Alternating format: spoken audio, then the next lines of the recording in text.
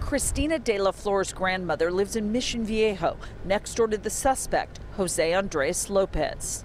She told me she was going to let each and every neighbor know that the 67 year old volunteer church pastor has been arrested on suspicion of child molestation. How many children live in this neighborhood? How many children live on this street? I'm going to go to every single door and let them know because I'm terrified for them. According to authorities, Lopez was a volunteer pastor at Pacific Hills Calvary Chapel in Aliso Viejo between 2003 and 2005. For the past eight years, they say, he volunteered at Compass Bible Church in the same city.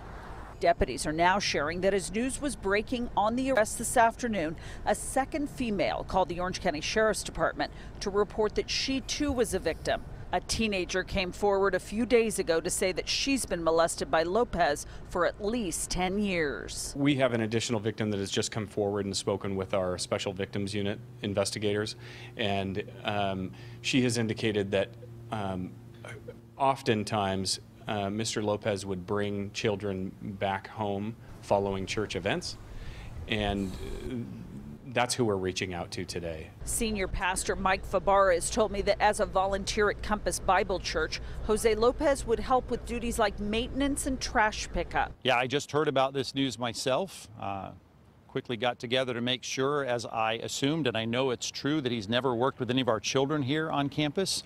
Uh, he's never worked with any children's ministries here.